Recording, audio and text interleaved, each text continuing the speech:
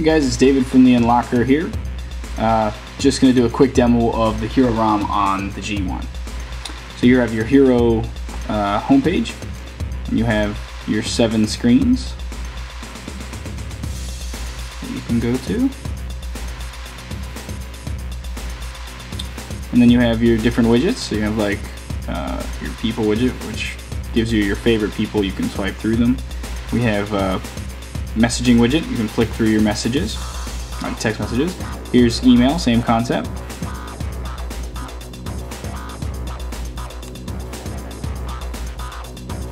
Calendar, you can flick through your calendar to get to different months.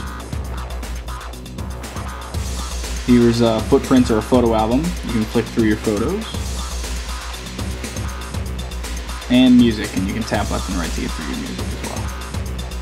So let's get back to the home page and I'll show you you can remove, say the clock for instance, and add a new clock. So you can see that there's a lot of different clocks that they put in here. Um, we'll do the one that everyone kind of associates with Hero.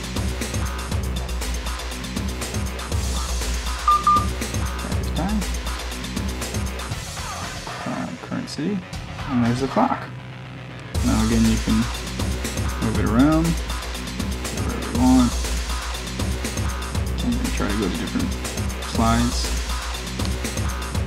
But there's no room on the other side, so we go back. And perfect. Even shows the weather underneath it, which is kind of cool. So I'll show you your new menu here. And considering this phone is 100 megabytes less RAM than the Hero, uh, this runs pretty smoothly.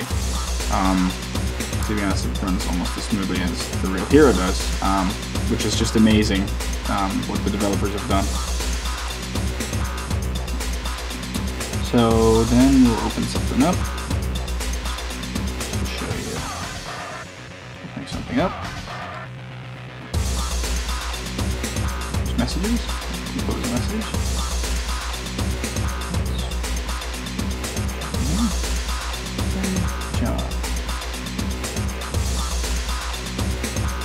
Type on here, or of course, you can slide out the keyboard and type in.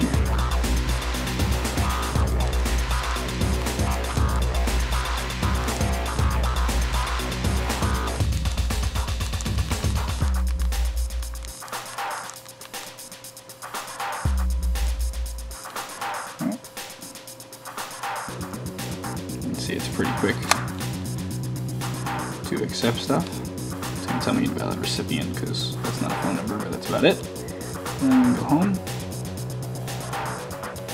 Let's see, not too bad. Alright, so that's a quick demo of the Hero ROM. Um, whenever we do put a Hero ROM on a phone like uh, this, we also put a non-Hero ROM on the phone as well. The non-Hero ROM just doesn't have this cool, you know, Hero interface. Um, but it still allows you to do like multi-touch in the browser, um, which allows you to do. Um, use the phone as a Wi-Fi network, similar to like the MiFi's that you see Sprint have.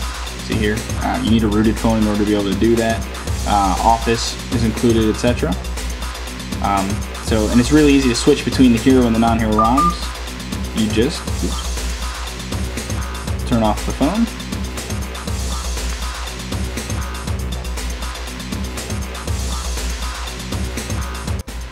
And then turn it back on by holding down power and home. Keep holding it.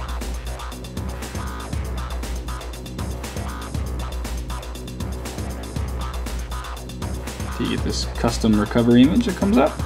See a lot of different features here. You can back up and restore your phone. Um, but to switch, you're gonna just click SD card, choose things, and you just select the, the Hero ROM here, or we always put another one on here as well. You would just scroll to it, click it, and the phone would restart with a different ROM. That's about it. Um, so I just want to show you guys a quick demo of Hero on the G1.